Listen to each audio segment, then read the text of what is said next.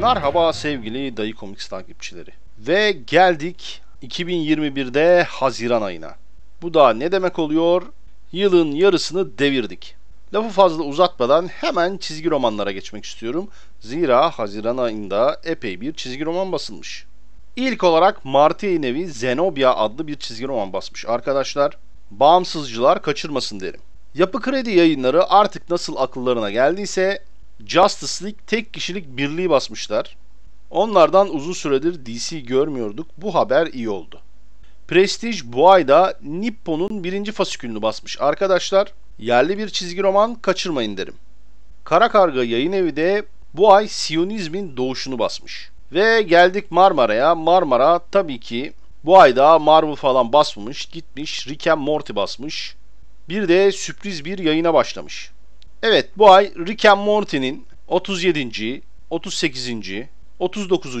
ve 40. fasiküllerini basmış. Yetmemiş bir de Jeff Lemire'in Sweet Tooth adlı çizgi romanının ilk cildini basmış. Adı da Şeker Canavarı. Ve geldik Itaki'ye. Itaki bu ayda Jüpiter'in mirasının 3. cildini çıkartmış. Ayrıca yavaştan o da mangaya başladığının sinyalini verir gibi Sandman'daki ölümün mangasını basmış arkadaşlar. Sanırım bu Amerikan manga dedikleri tarzda bir eser. Çizgileri çünkü bunu andırıyor. Gerekli şeyler boğa yine mangacıların yüzünü güldürmüş. Aynı zamanda Marvel'cıları da boş geçmemiş. Oldboy'un 5. ve 6. cildini beraber basmış biliyorsunuz onlar 2 cilt bir kitap olarak basılıyor. Ardından vaat edilmiş yok yer 5'i basmış. Ev erkeğinin yolu 1'i basmış. Gençlik Yolculuğu'nun 8. cildini çıkarmış. Kroko'nun basketbolunun 10. cildi çıkmış. Weapon X'in 5. cildi çıkmış. Bleach'in 34. cildini çıkarmış. Ve İblis Keser yani Demon Slayer'ın ilk cildini çıkarmış. Arkadaşlar İblis Keser enteresan bir isim olmuş. Aslında şeytan doğrayan falan da diyebilirlermiş.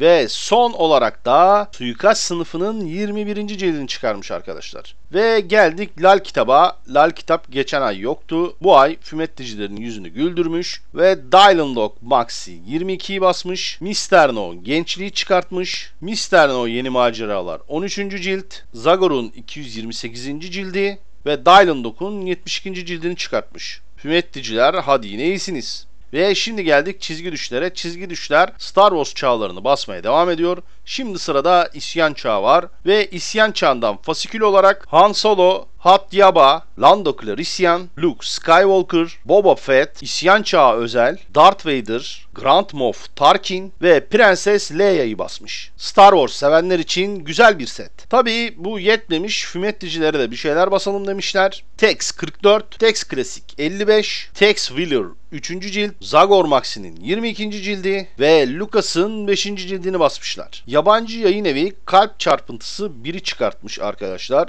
Çıktığında kimsenin umurunda olmayan bu çizgi roman sonradan büyük olaylara yol açtı. Yani enteresan işler. Uzun süredir çizgi roman basmayan arka bahçe sonunda Daredevil'ın da 3. cildini çıkartmış arkadaşlar. Bağımsızcıların en sevilen yayın evlerinden olan Baobab'da tercih düzeni ve Fırat Yaşan'ın tepeyi basmış arkadaşlar. Aslında Fırat Yaşan'ın tepesi daha önceden basıldı fakat farklı bir yayın eviyle basılmıştı. Şimdi artık Baobab yayınlarında ve arkadaşlar demin söylemeyi unuttum. Geldik Haziran ayının son çizgi romanına. Itaki bu ay sadece Jüpiter'in mirası ve ölümü basmamış. Aynı zamanda da mavi en sıcak renkleri basmış. Biliyorsunuz bu Fransız çizgi romanı sonradan filme çekilmişti. Çok büyük fırtınalar koparmıştı. Şimdi çizgi romanını okumak gayet iyi olacak. Ve evet bir videonun daha sonuna geldik. Videoyu beğenmeyi, kanalıma abone olmayı, bildirimler için çana tıklamayı ve çevrenizdeki çizgi roman sever arkadaşlara kanalımı önermeyi unutmayın. Benden şimdilik bu kadar. Hoşçakalın.